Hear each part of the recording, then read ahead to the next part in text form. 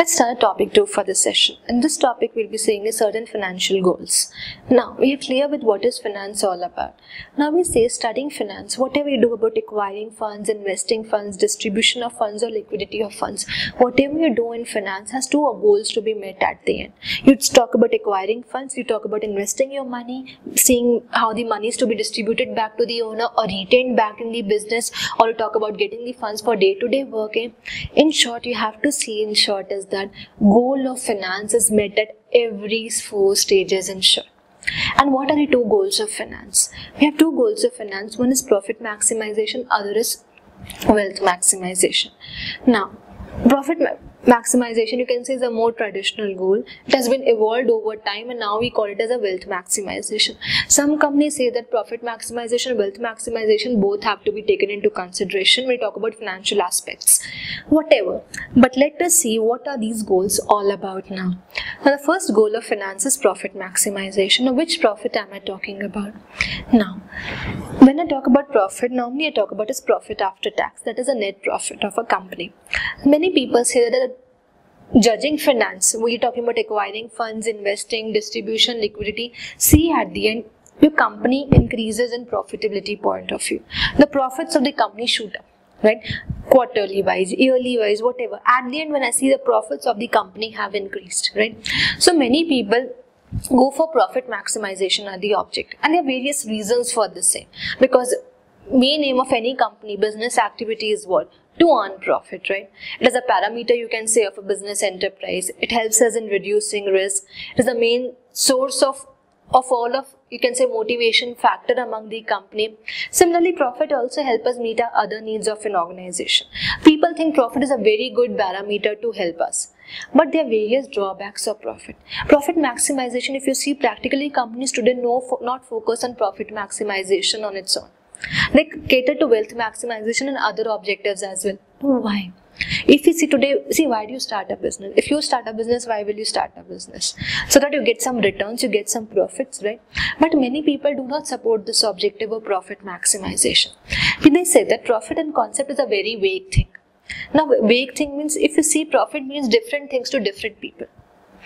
If I ask you for a company, which profit is more important, gross profit or net profit? And there's so many profits, right? There's earnings before interest and tax, there's profit before tax, there's profit after tax, there's also gross profit of a company, there's operating profit, there's earnings with profit given to shareholders at the end. So profits mean different things to different people. For example, if I am a shareholder in a company, which profit would I be interested in? Profit which I'll be getting, profit available to equity shareholder. Some people, for example, lenders and borrowers, what will they be interested in? Profit after tax. So profit, if you see, mean different things to different people.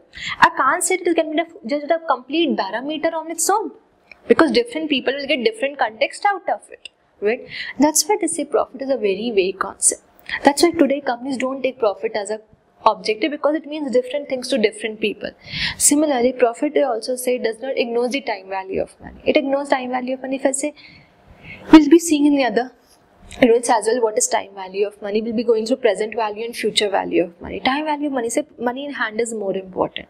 For example if i say you invest your money if you invest your money the business may give you profit of 10000 after one year 20000 after two years you'll be like fine one year two year i understand.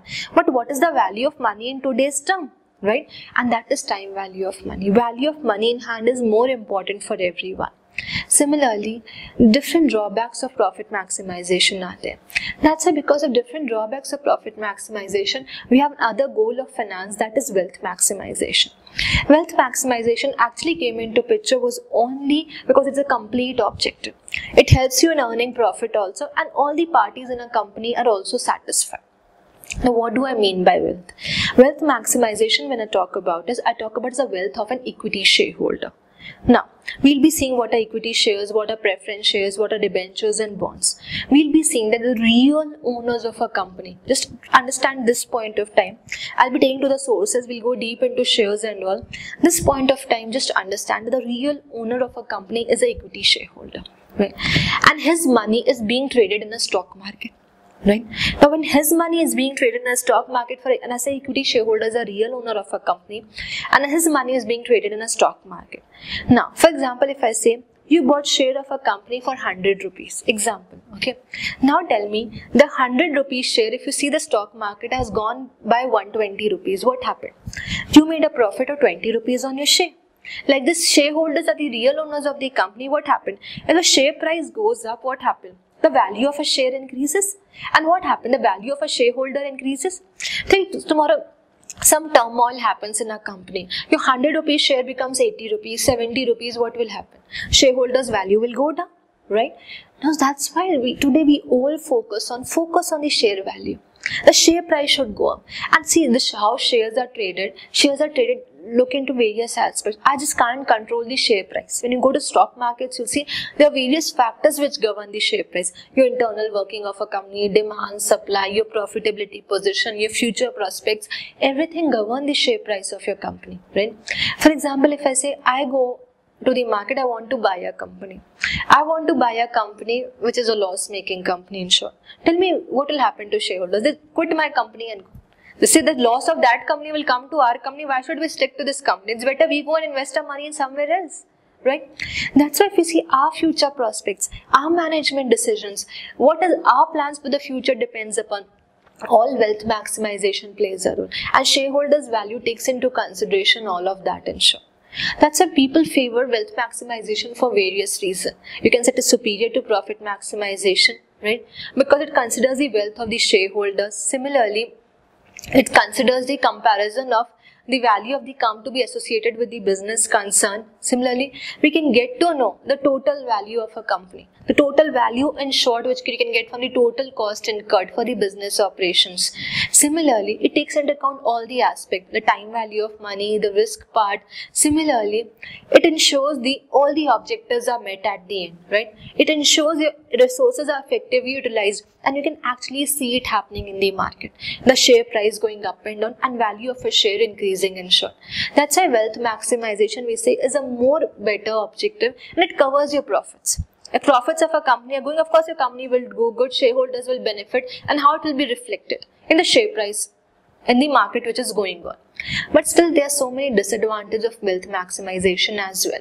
Different people do not favor it as well Similarly, they say it just focus on a shareholder. So management alone enjoy the benefits. Similarly, it creates ownership management controversy over there. Similarly, they say this wealth management is nothing new. Wealth maximization is nothing new. It's just another name for profit maximization. So just indirectly we are saying it. It's just one and the same thing, right? Similarly, there's some people say it is not practically possible. But whatever the arguments for today, all companies look at wealth maximization. We can say profit and wealth can go both hand in hand, but wealth maximization has a broader concept. It covers the full company as its own, and when you go deep into it, you see the owner should be benefited at the end. See, when you start a small business on it, what do you see?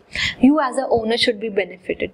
And for a company which is bigger in nature, see, in this model, we'll be seeing about big companies' point of view. Go to the markets, you want million, billions at one shot.